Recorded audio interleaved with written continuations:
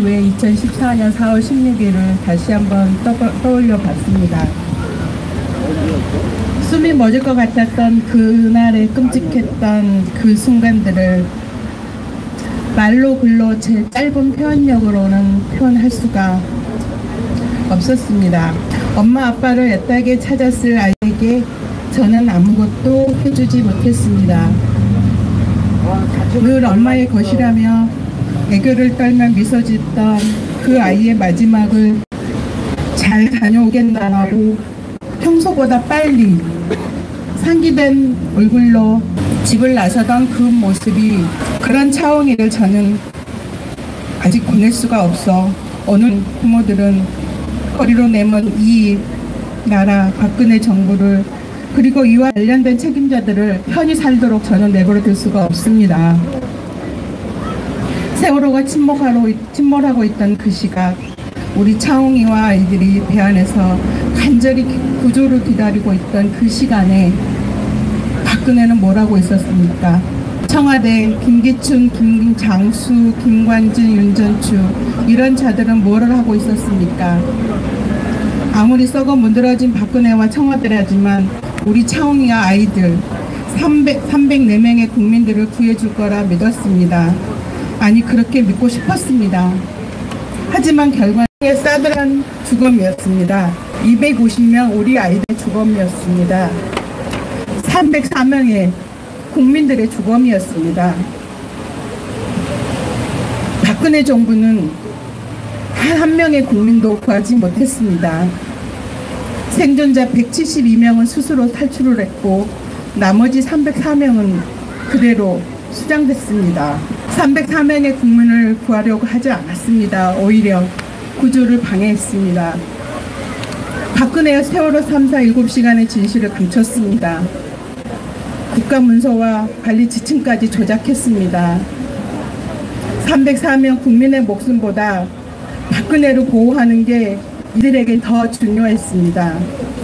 새빨간 거짓말까지 내뱉으며 국민을 속이더라도 박근혜 독재자를 보호하는 게 이들에게 더 중요했습니다. 박근혜와 새누리당이 추천한 특조위원들을 특조위원들을 내세워 일기 특조위 진상조사를 방해했습니다. 박근혜 세월호 7시 조사를 막았습니다. 모두 박근혜와 그 일당들 그리고 새누리당이 저지른 짓입니다. 박근혜 7시간을 조작하고 거짓 보고를 했던 김기춘, 김관진, 김장수, 윤전추 이 자들에게 무죄를 줬습니다. 304명의 목숨을 빼앗고 독재 권력으로 공문서까지 조작해 국민들을 기만했던 박근혜 독재 세력에게 권위 부장 판사는 죄가 없다고 우리 부모도 들어오지 못하게 하고 판사봉을 두드렸습니다. 며칠 전 우리 가족들은 법정 안에도 못 들어갔습니다. 국민을 죽음으로 내몬 자들의 면상도 보고 그들의 그들이 저지른 죄값의 범죄의 죄값을 똑똑히 보려고 법정에 찾아갔지만 볼 수 없었습니다. 이미 이따위 판결을 준비한 재판부는 뒤가 캥겼던지 노란 옷을 입은 우리 가족들의 방청을 막았습니다. 입구부터 법원 검색대 직원들은 부모이기에 포기할 수 없다라고 쓰여진 노란 조끼를 벗지 않으면 못 들어간다고 윽박질렀습니다. 그것이 바로 시위 물품이라면서 말입니다.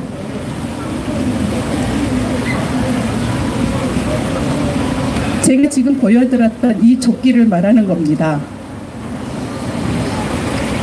법정 앞에서는 이미 방청권 배부가 끝나서 들어갈 수 없다며 저희를 가로막았습니다.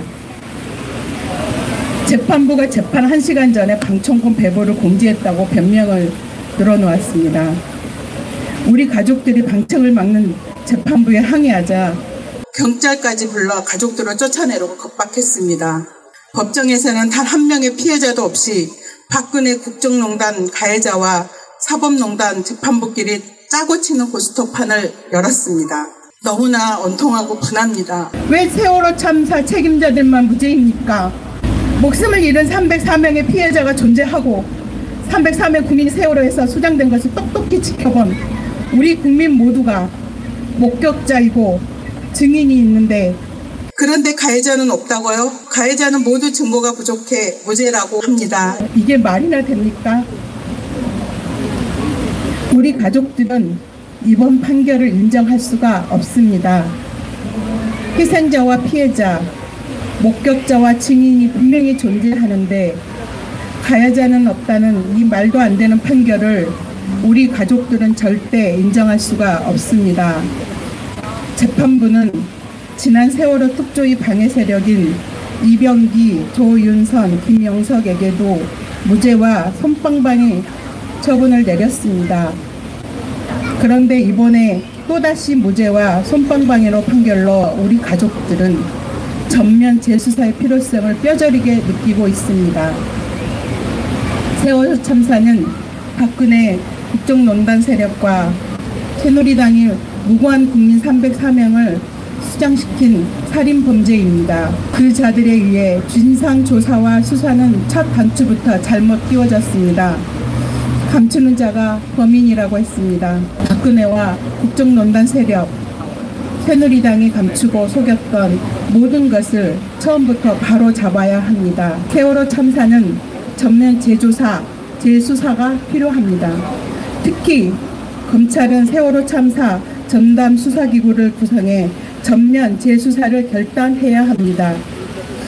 박근혜와 국정농단 세력, 사법농단 세력들이 그렇게도 두려워하는 우리 피해자 가족들은 부모이기에 포기할 수가 없습니다. 우리 가족들은 아이들이 아이들을 죽인 책임자들을 끝까지 처벌할 것입니다. 우리 아이들의 죽음을 목격한 추- 촛불 국민 여러분, 여러분이 세월호 참사의 목격자이고 증인입니다. 진실과 정의를 위한 국민의 심판의 끝까지 함께 해 주시길 부탁드립니다. 고맙습니다. 제가 오늘 말씀드릴 다짐의 주제는 처벌하고 기억하고 처벌하고 기억하고 처벌하고 기억하고 처벌하고 기억하고 여러분 우리나라에 특별조사위원회가 몇 번 있었을까요? 뭐 진상규명위원회 뭐 혹은 특별위원회란 말이 있어도 특별조사위원회는 정말 세 번밖에 없습니다. 그게 뭐 무슨 의미가 있냐라고 말씀하시는데 여러분 우리나라 국민들이 제일 싫어하는 게 뭔지 아십니까? 제일 싫어하는 게 바로 특권입니다. 특권. 특권을 제일 싫어하는데 특권을 세 번 부여한 거예요. 왜냐? 우리 민족의 존엄과 생명을 갉아먹고 우리 국민의 생명을 앗아간 문제에 대해서는 특권을 줘야 되기 때문에. 매우 특별한 권한입니다. 독립적인 조사 권한을 줬습니다. 대단한 일입니다. 정말 우리 국민들의 힘이 아니었으면 이루어질 수 없는 결과였다고 생각합니다. 어, 지금 5년이나 흘렀다고 자영당 그만하라, 그만두라 이런 얘기를 하고 있습니다. 우리는 끝까지 추적해서 끝까지 다 처벌할 것입니다. 이곳 세월호 광장을 기업과 처벌의 공간으로 만듭시다. 네, 요즘 유행하는 말로 자유한국당이 또 자유한국당 했습니다.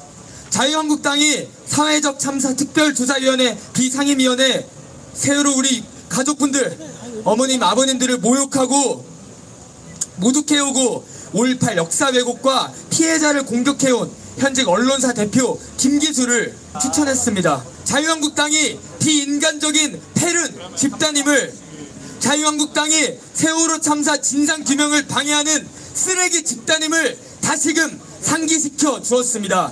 도저히 자유한국당 절대 보고만 있을 수 없습니다. 이미 국민들은 움직이고 있습니다. 이미 여론은 민심은 자유한국당 해체입니다. 저희 대학생들 한국대학생 진보연합이 앞장서서 자유한국당 해체 적폐청산 세월호 참사 진상규명 끝까지 함께 하겠습니다. 감사합니다.